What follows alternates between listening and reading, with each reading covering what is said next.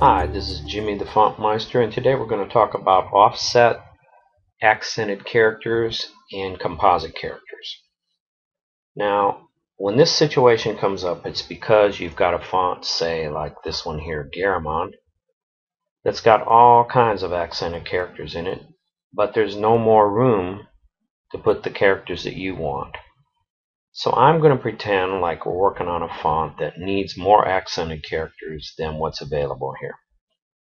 And I think that Hawaiian and Navajo both have uh, characters with dots underneath them. So what I've done here is I've taken the mid dot character and moved it down. And so what I can do now is open up the metrics window. And I'm going to type a vowel in here. And what I can do in the metrics window is click on the character and you get these lines for the side bearings left and right as well as the kerning line down the middle. Don't touch any of those when you're creating an offset character. Instead, just click and hold your mouse down on the character itself and move it over like that.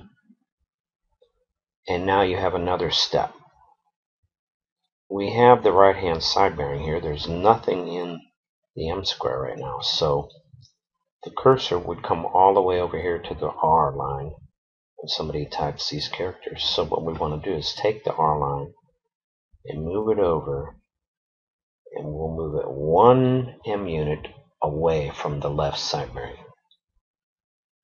This also could be done in the outline window, but the main reason I'm pointing this out is because you it's a cardinal sin if you ever put a side bearing on top of another side bearing. There's got to be at least one em unit available. So you see now when somebody types this character that the cursor will come to rest right there where the right hand side bearing is. Now what we've accomplished by doing this is now when somebody uses this font the um, the dot has been instructed to always go this far offset under any character that it's typed with. So if you install this font, go out into Microsoft Word, type E, and then if you know the keystroke for the mid dot, let's go take a look at it. On the PC, I'm viewing by decimal here, you see. Alright, on the PC, it would be holding down the Alt key and then using the numeric keypad to go 0277. If I were in Microsoft Word and I typed uh, the letter E and then Alt 0277, I would have a nice mid dot underneath my character. I could type an A in Alt 0277 and have a mid dot underneath my A and so forth. So this is what we call a negative offset character. Okay, now I want to talk about another way we could have done this. Okay, now here's another trick we could have done. We could have taken the letter E and copied it as a component, or what is known as a composite character. We find a slot here that we don't need let's take here slot 137. We'll just delete whatever's in there. You see I pasted the E in as a component. Now what I'm going to do is go down and find that mid dot again. And this time I'll go ahead and copy it as a component also.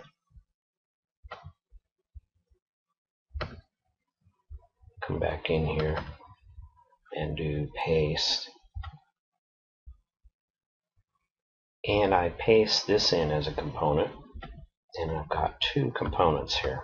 Uh, these are known as composite characters because they're made from other characters. Now, why are we doing this? One reason may be because we're building such a big font that we need more room. And another trick is when you use composite characters, uh, the font uses less memory because the font knows that when you type this character, is this character number 137, to go and get the E from the E slot and go and get the dot from the mid dot slot.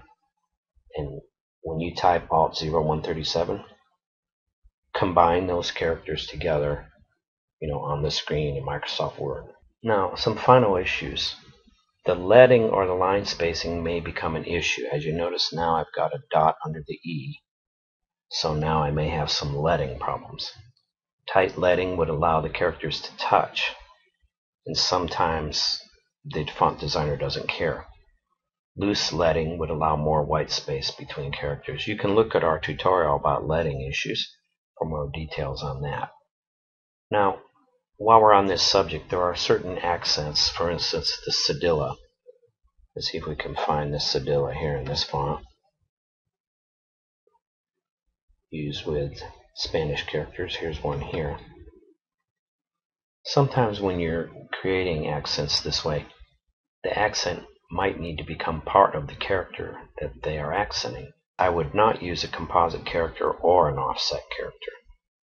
Instead, I would put the accent and the desired character into a slot that you don't need for anything else. Make sure that slot is defined by the encoding you're using. Let me just take a side trip out here to, to let you see that characters that are not defined in an encoding, they have uh, double asterisk. So don't use any of those with a double asterisk. Let's get back to talking about the cedilla. Okay, so in this case, we're not going to use offset characters. We're not going to use composite characters. Instead, we paste both characters into a slot that's not needed, but is part of the encoding vector. And what we'd have to do if there's overlap is to go to the Element, Remove Overlap menu. Thank you for watching the Fontographer tutorial series. There's more details in your Fontographer user manual. And let us know if there's other topics you'd like to see covered in the series.